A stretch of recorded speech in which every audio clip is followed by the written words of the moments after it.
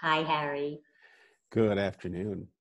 How are you? We're in J- June 11th, I believe, of 2020. And so the world is in a different place than it was in March. And I think that we're all sort of vibrating in the best ways that we can, given the circumstances that we're that we are actually collectively living through. Yes. One thing upon another thing. Another thing. Yeah, And it's you it's never hard. know you never know when the next thing is going to show. Yeah. Yes. Yeah. Well, it's great to have this uh, time to sit down and talk with you. Yes, thank you. Uh, I think you and I first met when you brought students from Macalester College Right. Um, I think it was it was really important. company production. It was as it was. I think it was a certain class, and I had such. And I'll be honest, it was a large number of Jewish students, Oh, and I think the largest number in one class. It was a first year course that I ever had so intentionally, and it just made sense that they were looking for themselves. They were looking for their stories and how they're being told, um, in relation to you know how things are intersecting in different ways and how stories are told. And I, it was well, why aren't we going to Minnesota Jewish Theater? And it's it's a bus ride away. right. and it was and it was accessible. Accessible in the sense that the theater's intimate, the stories were well done and well produced, and the conversations that we were able to have afterwards were very rich. And I think Great. Well, that's good to over hear. years. Yes, yes. And then I had the great good fortune to uh, convince you to direct for us, which you did a year ago winter. You did uh, the direction on Actually by Anna Ziegler. Right. And I wonder how it was for you to direct at a culturally specific theater that looked at life through a Jewish lens. Right. Um, I have to say that for me, it was one of the most enjoyable challenges that I've had because I had to make that shift.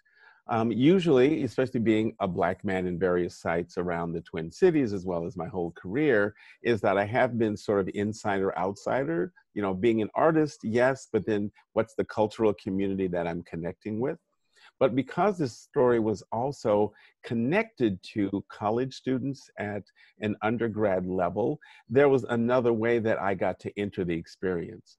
What I did have to make space for was there was a not, I didn't have a depth of understanding of what the Jewish culture would bring, especially for this young woman that was in the play, of what her experience would have been like, you know, entering a, a, a college given the experience that the playwright wrote, but also in relationship to uh, another student of color, but then also the impact of what would be alcohol and sex and and understandings and accusations. So there was it was loaded with so many things that it was always um, a multi hydra headed experience. So how do we manage and where do we pull from and put in the story and also being guided by an extremely extremely talented pair of actors um, i'm sure that most of your uh, organization knows miriam schwartz who i hear has moved to the west coast She's out in Portland right now, yes. Oh, okay, right.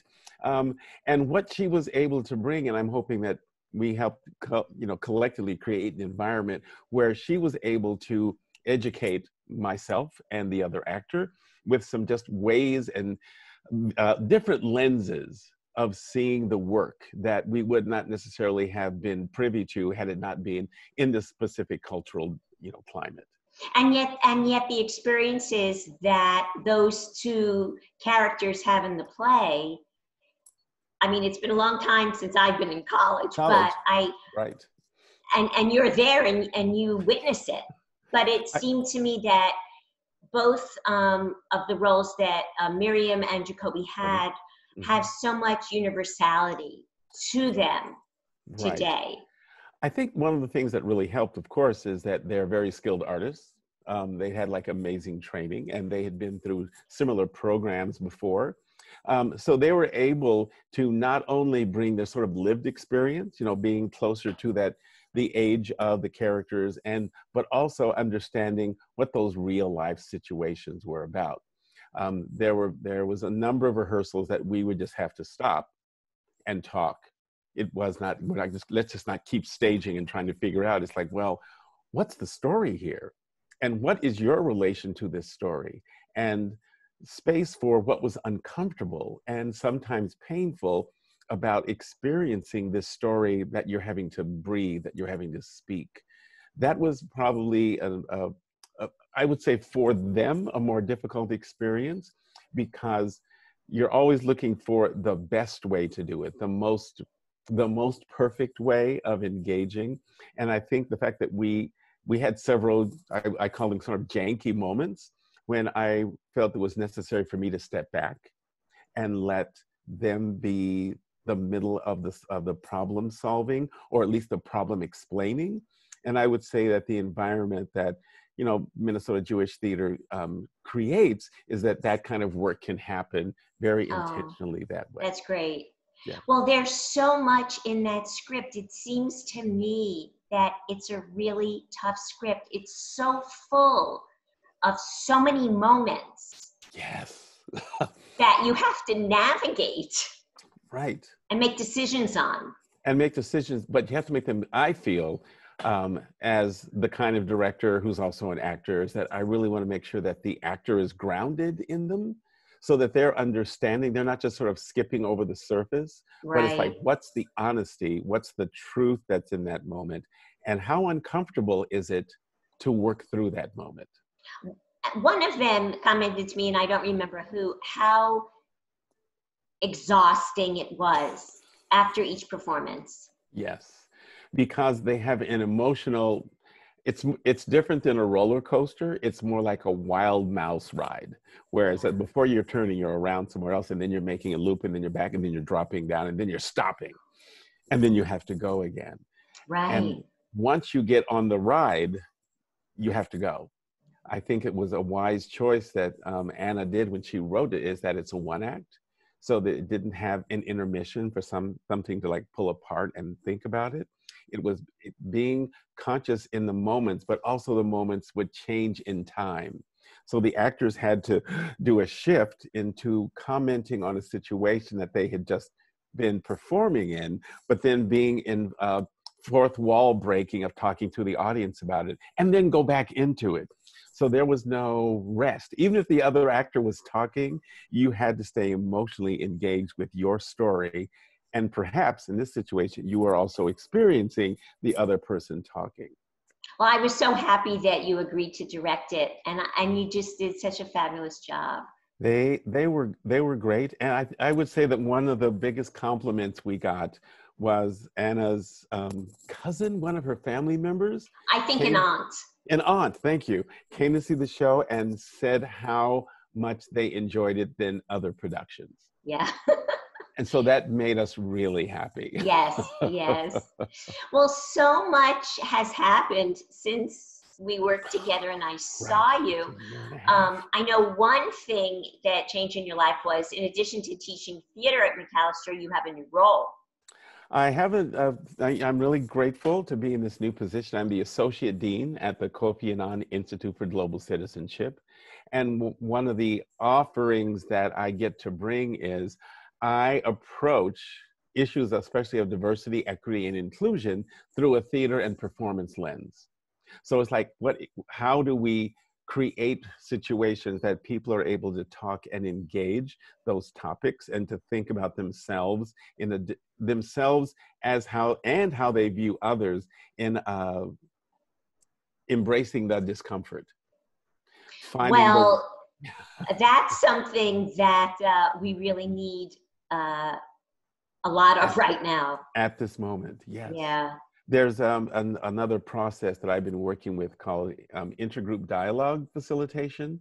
And it really has to do with, in addition to myself learning how to sort of step back and away and facilitate dialogue, not just debate and discussion, but dialogue means that how are you knowing the other person and why they hold the beliefs and the the challenges that they have and them also knowing who you are and your history of why you bring that that that lived experience to this moment and this discussion So I would imagine that that creates a deeper and a greater understanding, which you can then build on. Right. And I don't think that we we're in a culture right now that allows a lot of that a, I mean consciously. I mean there's debate it's like here's how I'm doing and then here's why you're wrong and then here's why you're you're wrong. And so that just it builds the walls thicker and higher. And yes. the discussion is about I'm just going to tell you what my position is and then I'm just going to wait until you finish and then I'm going to tell you my position, but there's been no in there's there, there's no cross pollination. Right. Has to do right. with and, and I think you know relationships can only get better when there's a true understanding and empathy, right? And, and that's a that's a learned practice skill of and um, opportunity about empathy. I think we give it uh, we talk about it, but how do we actually practice it? Yeah. Because our cultures are now so and I want to say. I, I, I want to go. I'm. This is the one that I know. We're living in the United States, um, so our cultures are a mix, but not. They're not a melting pot. They're more a jambalaya.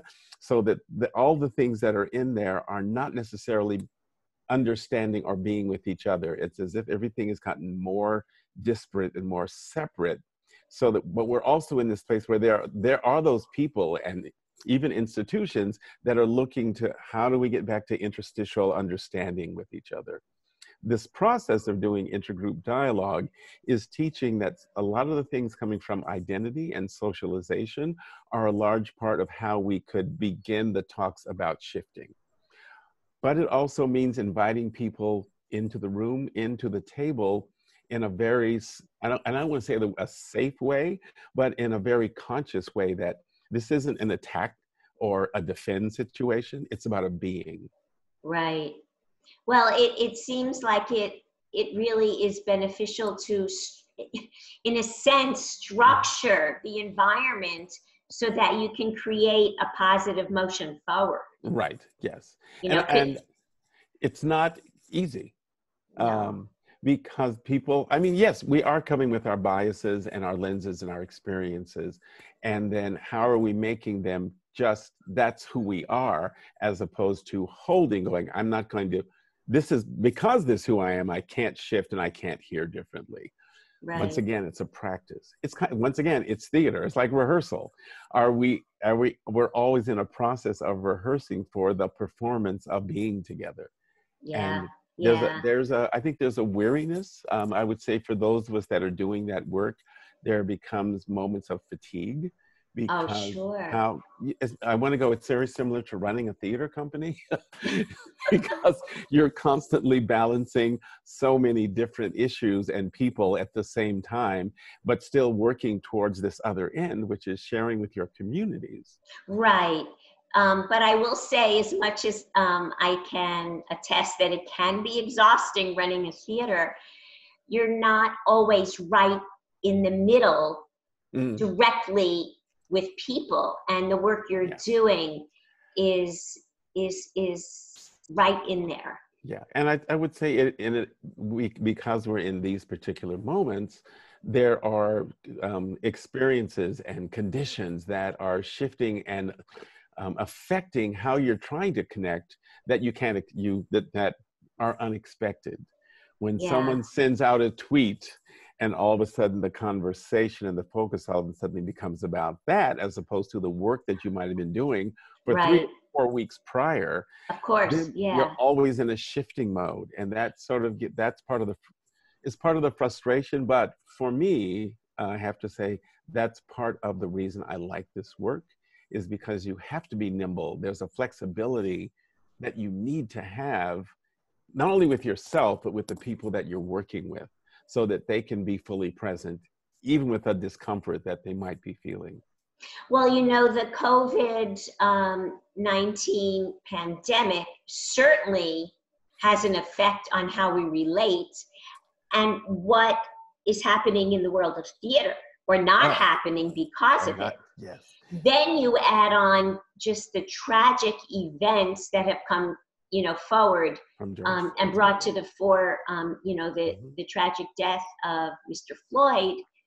How do you think I guess together they Mhm. will impact your work as a teacher and as an artist. Especially those two. I have to say that when we first hit the COVID 19 moment, and ours was, as I always say, March 12th was the last day that I was on campus. Because that following week was spring break, and then they knew we are going to have another week after that. But then no one came back to campus, but we were starting classes. So I had to immediately shift to how do I teach in these screens, in these triangles, in these rectangles that are a part of how we're relating right now, in people being in in various sites literally around the country and the world. Because I had international students in China, Vietnam, and Japan. Talk about time zones we had to be aware of. So that was the first shift. But what we found was we had to consciously agree that we're making something new, we're making it different.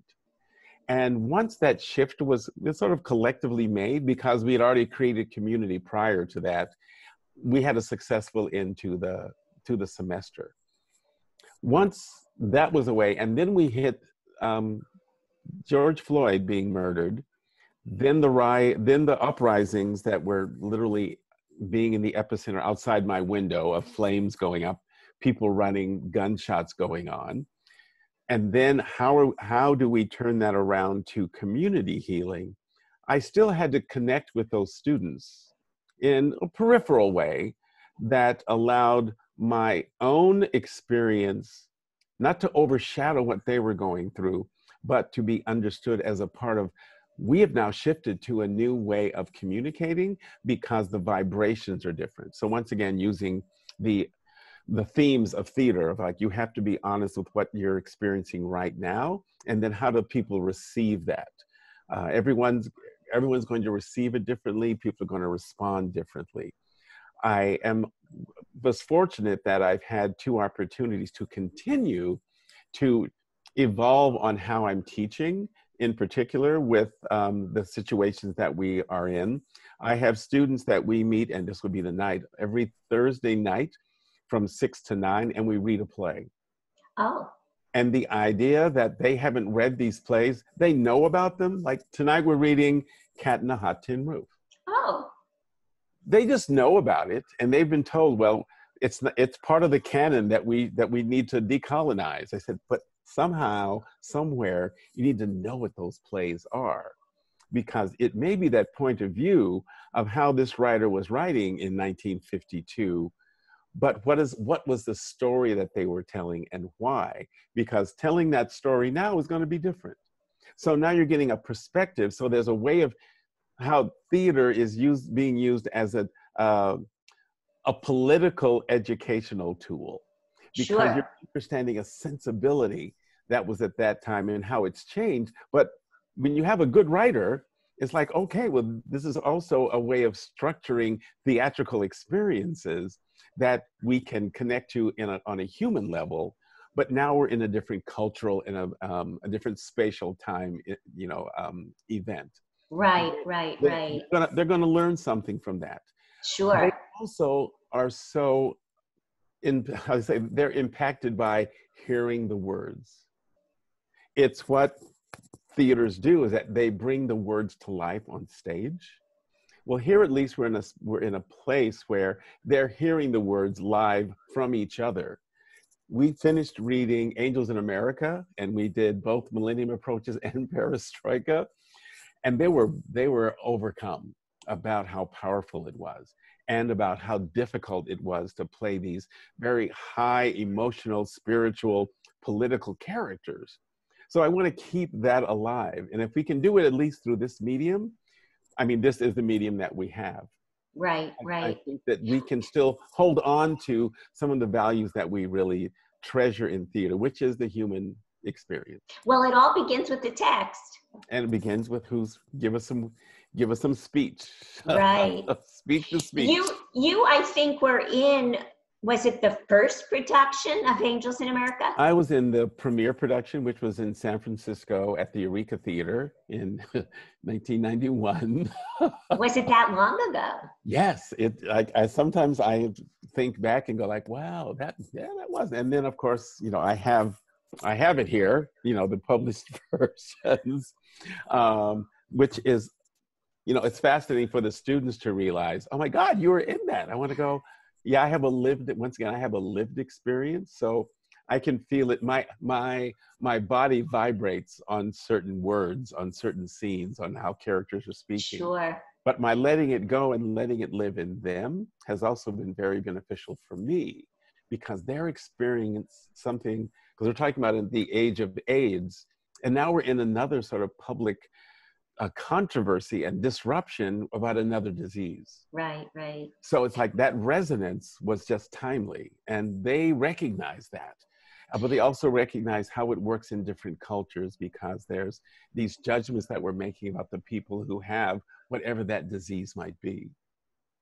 You know, I was going to say you're a triple threat in the sense that you are an actor, a director, a teacher, but it's more than that because I imagine, based upon some of the work you've done, you're a singer. Yeah, I have to do and that. a dancer. Movement, yes.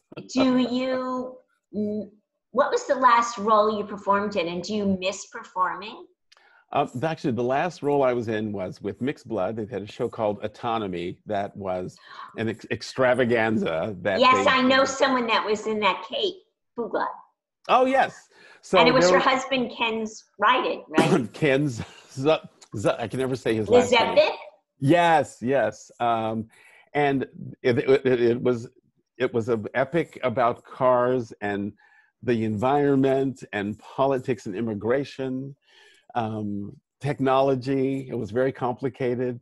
People viewed the play in golf carts that you would come to each scene. Each scene was seven minutes long, and then you would have to go to the next scene. And so it was continually moving. I was the last scene, and I was the only character that actually spoke to the audience in their cars, but I also had to sing by myself to a track and it would be like eight times in a row, eight, seven minutes. Okay, go, let's, let's do it again. And I have to say, I loved it because, you know, you, you usually do eight shows a week if you're in like a regional theater or Broadway, but it was like doing eight shows right away within the seven minutes, and then eight shows again in the next hour, and then another. So we got like 90 performances. So I really was it felt good to have the the acting the singing the performing muscle again because i think that's something that sometimes we lose when we're just teaching. Um, and uh, you know quite a number of my students showed up to see you know me there which was sort of i felt really excuse me sort of honored that they found time in their schedule to come to come down. Pardon me. Um, but it also felt good to have the theater community there. Because sometimes when you're working as a teacher, you're out of the loop of what theater is being made in the Twin Cities. And there's a lot of theater and there's a lot of um, activity, and I really like being engaged with it. But when you're in higher ed, sometimes it's, it's pulling you in a different direction because there's teaching, and also as the associate dean, um, and I forget, I'm an administrator as well. So I'm I'm doing I'm wearing a different different hats at various times, but I find it's very useful of really grounding who I am in the theater, because as I was telling a friend of mine today, you know, I knew that I was going to dance because that was just what I could do. I always had a big voice, um, and I say I I speak like I do because I, it's my father's voice. And I think that that's really important. And the fact that there's a human connection to stories is because I'm very nosy. I like to know, I do. I like to know about people. Where'd you come from? What are you doing? How do you do that? And why do you do that? That's when I'm also asking every character. So when I'm working sort of as a dramaturg as well with people's scripts, because I really love working with new playwrights, it's like what's going on in each one of these moments and why why is, is is this really the writer's voice? Is this a character's voice? Is this are you trying to hit the audience with something? What does each moment mean which is why it needs to be powerful and specific? Um, and i think that for example when we did actually it's like there was a lot of switching back and forth between why is she telling the story this way at this moment? So that we can know and make sense with the conversation of creating a character of who they are right now. I'm looking forward to, you know, teaching another sort of African American theater class in the fall. So I'm getting ready to use different kinds of texts to tell to tell stories over another century. I'm going to really look at the 20th century um, because those are some stories, and people are telling them in different ways in different decades. So there's a political political story that also happens when you're telling human stories. It's a context. What's the I, my newest thing is what's the nest that this story what that's holding this story and how do we keep it together so that it doesn't open up and fall apart?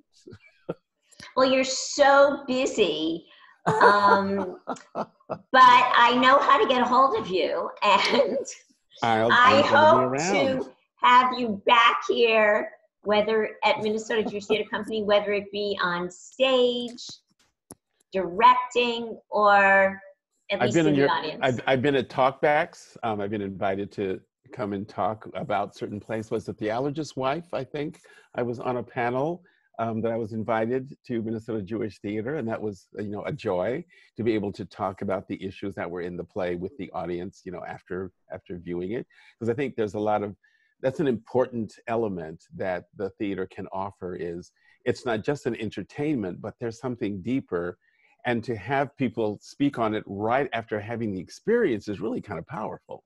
An audience seem to really want that they do these days. um, particularly with certain plays or what's going on in the world right. so. I, I, have to say when we were doing actually because it was about a college age situation and there were several um, universities that brought their students and it was very impactful for them to be able to talk to and with each other about what they experienced on the stage.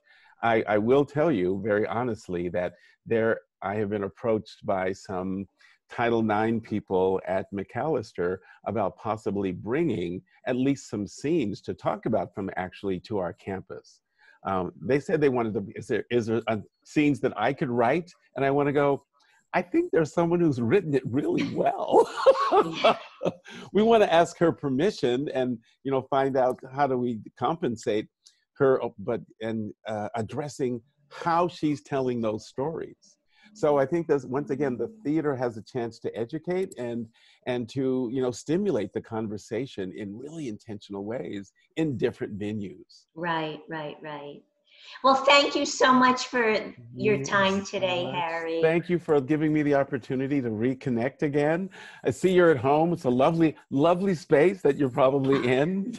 it is my house, and it is a nice a nice environment to to be in if I cannot be in my office. If you can't be in your office. Or the well, theater, yeah. Yes. Well make sure that you're taking care of yourself and get some walking in. I was doing a new thing called From the Couch to 5K. I just started today. I do try and get in a walk every day because oh, I, I I'm a little hesitant to go back to the fitness center when it opens. I I agree. I'm I'm, I'm I can pause. I can pause there. Yeah. Well, thank you so much. Have a great and glorious glorious time. Thank you. Take care, Harry. All right. Bye bye. Bye.